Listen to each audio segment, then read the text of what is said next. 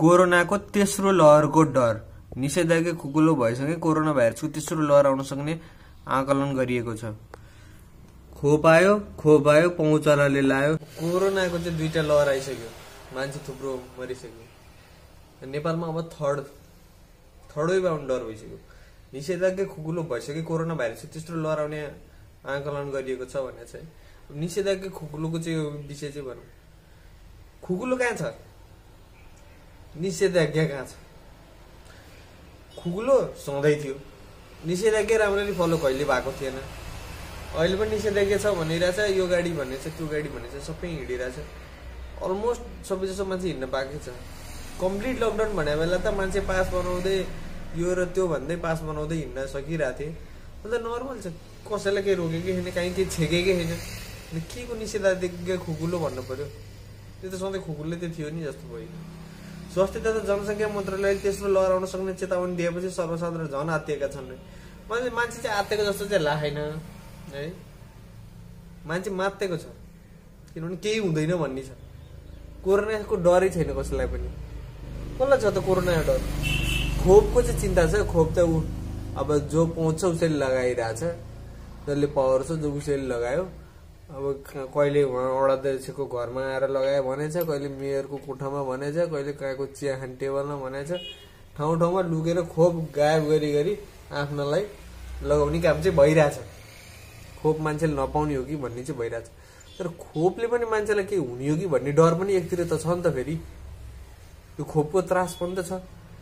अब किनकि यो अमेरिकाको जुन खोप आयो त्यसको साइड इफेक्ट धेरै देखिरहेछ। नेपालमा पनि प्लस बाहिर पनि अरू देशमा पनि देखिरहेछ साउथ अफ्रिकामा पनि त्यसले मान्छे मऱ्यो भनिरहेछ युरोपियन युनियनले त्यो भ्याक्सिनै रिटर्न गर्यो भनिरहेछ युएसले अहिले आफूले लगाउन बन्द गरिसक्यो भनिरहेछ भनेपछि सबैतिरबाट त्यो भ्याक्सिनलाई शङ्का पैदा भइरहेको बेला त्यही भ्याक्सिन हाम्रोमा आएर हाम्रोमा पनि भ्याक्सिन लगाएको केही घन्टामा एकजना मान्छे मरे।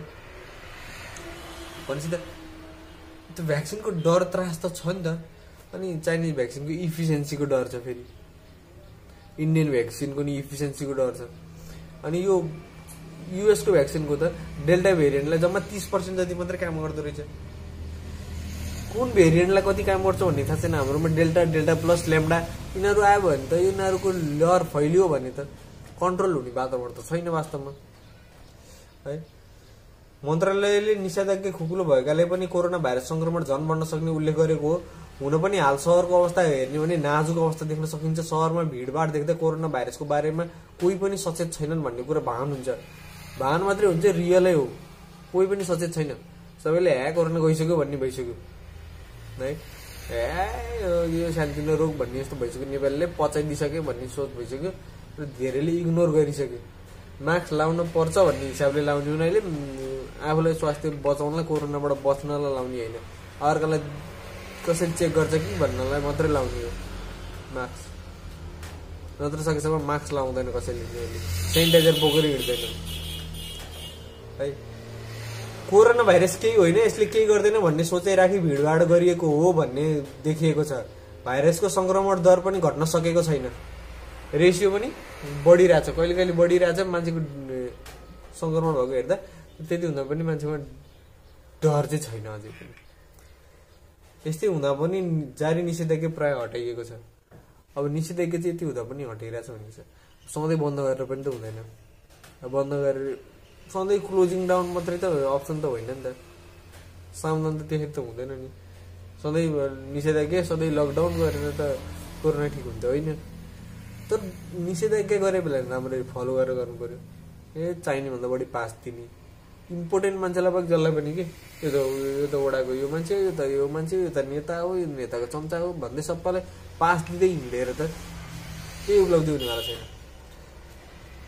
निषेधाज्ञा हटाएपछि पनि भाइरसको डर हुँदैन भन्ने सोच आम मानिसमा छ कि भन्ने आशा निषेधाज्ञा हट्यो डर भएको भए त निषेधाज्ञा गर्थ्यो नि भन्ने मान्छेमा सोच एक प्रकारले बढेको छ भने त्यो पनि एक प्रकारले ठिकै होला। अर्को धेरै जसो इक्जामहरू चाहिँ जुन थियो त्यो चाहिँ ब्याक गरिरहेको छ अहिले होइन। पहिला जुन रोकेर राखेको इक्जामहरू अहिले गर्न थाल्यो। अनि योबाट के भन्ने नि इक्जाम त अनलाइन गरायो भने हुन्थ्यो। एउटै स्कुल कलेजमा टाढा राखेर नि हुन्थ्यो। इक्जामको हेर्नुहोस् इक्जाम गराउनलाई सोध्नुहोस् भिड छ क्लासरुममा। त्यो भिड तालले त्यसरी इक्जाम भएपछि त कोरोना के? कहाँ कहाँको सबै मान्छे आएर जम्मा भएर इक्जाम दिएर हुन्छ न कुनै टेस्ट छ न कुनै केही छ सिधै जाँदैन आएको छ एकै ठाउँमा प- त्यो त डर त्रास त त्यहाँ पनि त छ त कोरोनाको। हाल मास्क बिना नै गोप्य कुरा गर्नु परेमा काने खुसी समेत गरेको देखिन्छ। यस्तो दूरी कुरा कता हो कता हो? ल काने खुसी पनि गरिन्छ भने अब यो त नेताहरूले पनि चलिरहेछ। अनि नेपालमा त युट्युबरहरूले नि गाउँ गाउँ जतासुकै काठमाडौँदेखि टोली बोकेर जान्छन्। बिस पच्चिसजना गाउँ गाउँ पुग्छन् अर्को गाउँ आज अर्को गाउँ भोलि अर्को गाउँ गाउँ गाउँ पुगे। अनि त्यो टोलीहरूले चाहिँ कोरोना फैलाएन होला। म त मेन त यिनीहरूले फैलाए जस्तो लाग्छ। किनभने जहाँसुकै भिडियो बनाउँदा भन्दै गएको छ कसको बुढी पहिला गयो कसको चाहिँ के भयो अर्का घरियासी समस्याहरू चाहिँ खोतल्दै खोतल्दै त्यसको भिडियो बनाएर हाल्नलाई भनेर कुदिरहेको हुन्छ। हो यिनीहरूले चाहिँ कोरोना बढी फैलायो कि जस्तो लाग्छ। तेस्रो लहर आएमा कोरोना फैलाए पनि यिनीहरूले समाजमा विकृति चाहिँ फैलाइरहेको छ तेस्रो लहर आएमा दोस्रो लहरभन्दा अवस्था भयो भयो हुने स्वास्थ्य मन्त्रालयहरूले जानकारी दिइरहेको बताएको छ। दोस्रो लहरको मध्यतिर अक्सिजन व्यापक अभाव भएको थियो। बेड आइसियु भेन्टिलेटर पाउन सकेका थिएनन्। पहिलो र दोस्रो लहर गरी नेपालमा सात लाख चौबिस हजार व्यक्ति सङ्क्रमित भएको छ भने छ लाखहरूले स्वास्थ्य लाभ गरिसकेका छन्। निको भएका पनि सङ्क्रमणको बेला ज्यादै दुःख पाएका थिए। सङ्क्रमणकै कारण नौ हजार छ सय त्रिपन्नजनाको मृत्यु भएको मन्त्रालयले उल्लेख गरेको छ। मान्छेको डेथ पनि धेरै नै भएको छ सङ्क्रमण पनि धेरै नै भयो।